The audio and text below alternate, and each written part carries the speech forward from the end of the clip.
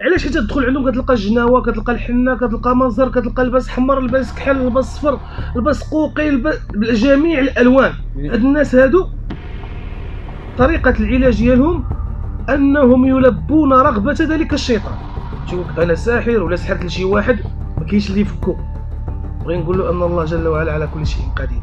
كنا دوينا على هذا الشيء وبعض الناس كيقولوا كيتسائلوا كيفاش انت؟ انت كتعرف باللي دوك الألوان ديال هذا وديال هذا وديال هذا. تلقنا ولا كانوا يغنيو على عيشة تيلبسوا كاملين الكحل. كانوا يغنيو مثال شي ملك تيلبسوا له اللون ديالو. يقول العلماء أن الرقية ممكن تعالجك من جميع الأمراض وجميع الأمور إلا الموت إلا الفراق.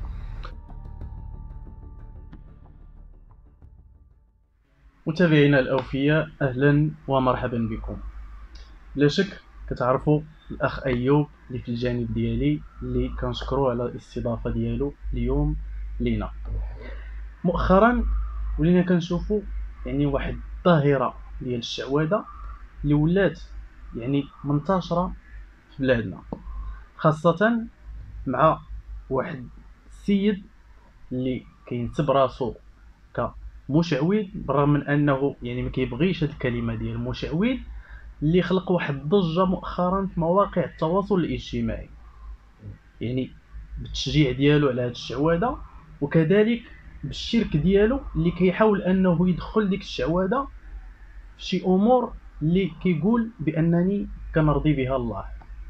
داكشي علاش جينا اليوم عند الأخ أيوب المكناسي اللي غني عن كل تعريف.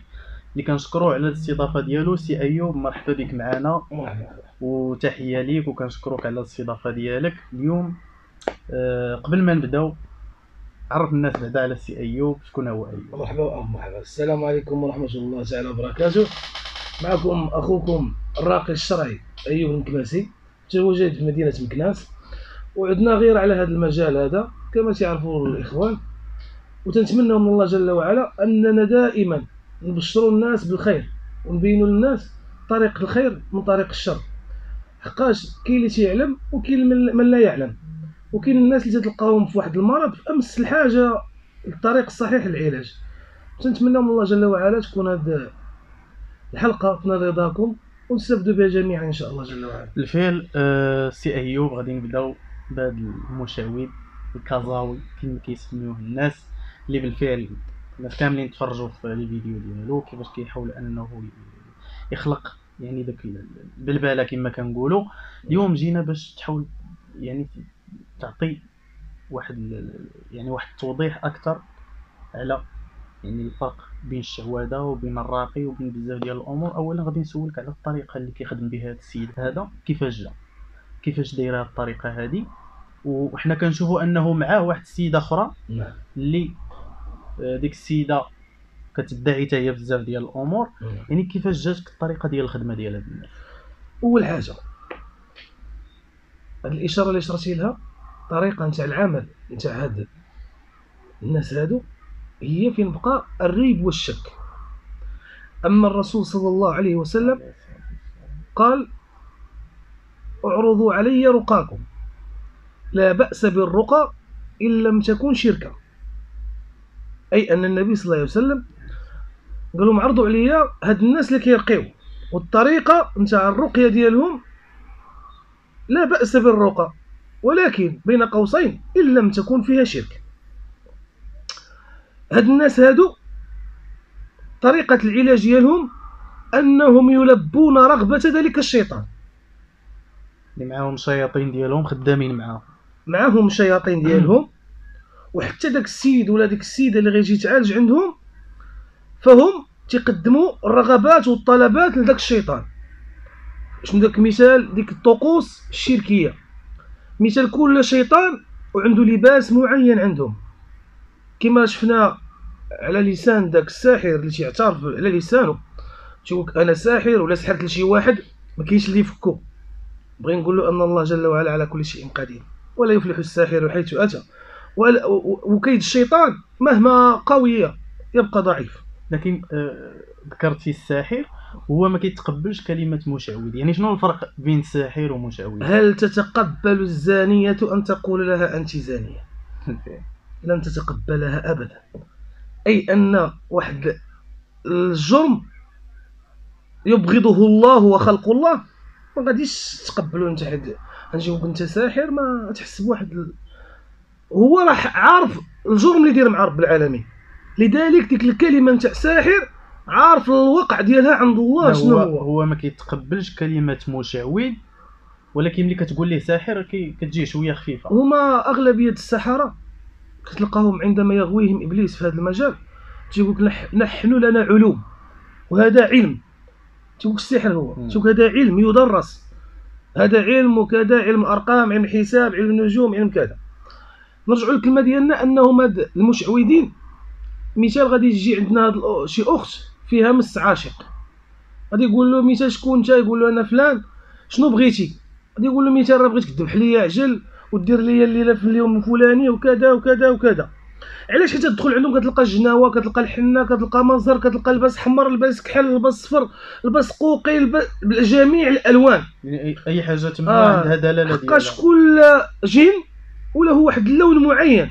مثال دابا حنا تنسمعوا في المصطلحات ديالنا حمو الجزار. هاد حمو الجزار هما الذين يرتدون له الأحمر. عيشة هما التي يرتدون لها الاسود ملكة هي التي يديروا لها القوقي وزيد على ذلك. حقاش كل مثال تنشوفوا حتى قناوة. مثال القناوه الملك اللي يغني عليه تيلبس لبسو.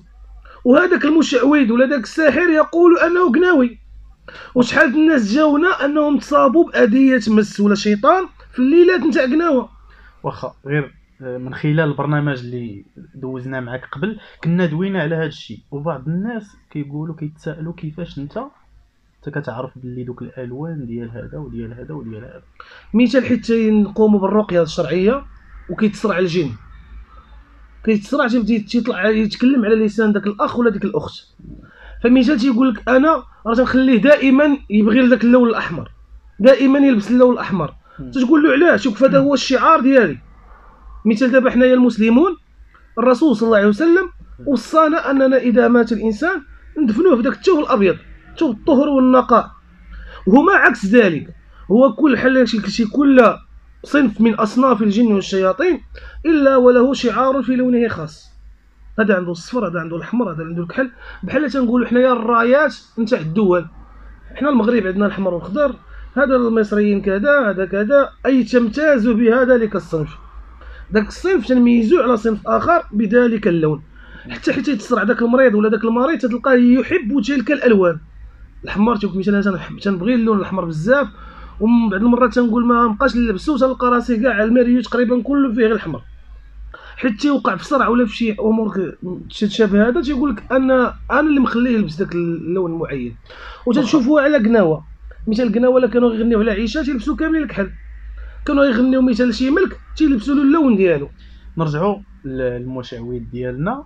هذا المشعوذ الكازاوي كيقول الطريقة ديال إزالة الجن هو كيقول أنه كيعتمد على شي طرق ديالو خاصة اللي ما كانش بغى يصرح بها.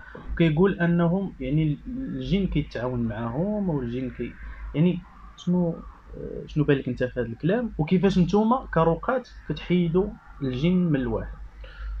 إذا حنايا غادي نبداو من السؤال الثاني كيفاش حنا الرقات تنحيدوا الجن من, الإنسان؟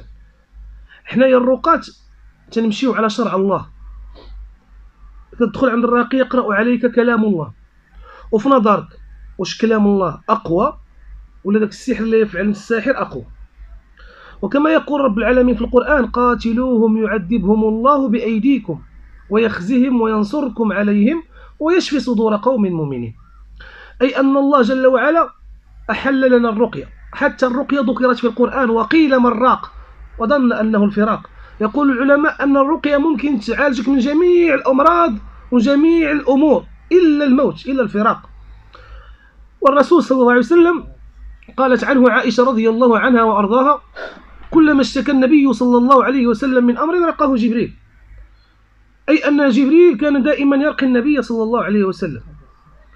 وأن عندما سحر النبي والقصة معلومة عندما سحر النبي بسحر اليهود عندما أتوا عنده فرقه جبريل أيضا لإزالة ذلك السحر الذي سحر به خير خلق الله وهو محمد صلى الله عليه وسلم. أي أن الراقي لماذا سميت الرقية الشرعية؟ لأنها من الشرع من الكتاب ومن السنة. ما كتسمعش فيها كلمات غير مفهومة ما كتسمعش فيها رموز وأرقام ما كتسمعش فيها بعض الطلاسين أي أنها كلمات مفهومة من الكتاب والسنة. أي حيث نقول الكتاب والسنة من القرآن الكريم ومن السنة النبوية من أدعية واردة عن النبي صلى الله عليه وسلم ومن اجتهادات دينية سابقة للعلماء. هذه هي الرقية الشرعية.